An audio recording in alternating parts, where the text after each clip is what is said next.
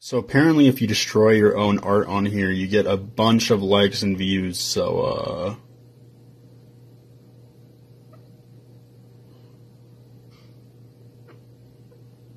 you know what to do.